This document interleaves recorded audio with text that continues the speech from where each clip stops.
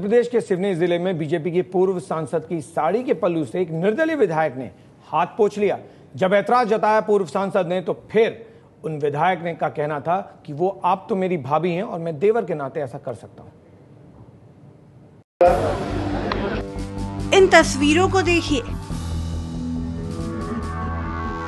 सार्वजनिक मंच पर बीजेपी की पूर्व सांसद नीता पटेरिया की साड़ी के पल्लू से एक शख्स अपना हाथ पोछ रहा है।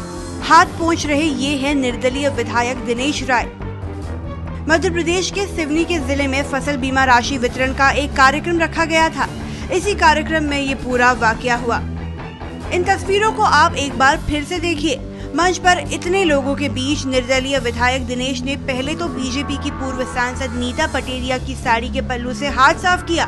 और फिर इस हरकत पर हंसकर खुद को शाबाशी भी दी। वहीं बगल में खड़े ये शख्स भी इस हरकत के बाद अपनी हँसी नहीं रोक पाए। अपनी साड़ी के पल्लू से हाथ पोछने को लेकर नीता पटेरिया ने दिनेश राय से कड़ा एतराज़ जताया। इस हरकत से नाराज़ पटेरिया ने उन्हें गरिमा में रहने को भी कहा। अब वो एक विधायक हैं। उन्हें मंच की गरिमा का ध्यान रखना चाहिए कि वो कहाँ पर हैं और किस पद पर हैं। मैं ज़्यादा मज़ाक पसंद नहीं करती, ये सभी को पता है। ठीक है, वो हमें भाभी कहते हैं, लेकिन उन्हें पद की गरिमा का भी ख्याल रखना चाहिए। नीता पटेरिया ने विधायक की हरकत की शिकायत बीजेपी के बड़े नेताओं से भी की है, लेकिन साड़ी के पल्लू से हाथ साफ़ करने वाले विधायक दिनेश राय अपनी हरकत पर खेत जताने की बजाय इसे देवर भाभी के बीच मज़ाक बता रहे हैं।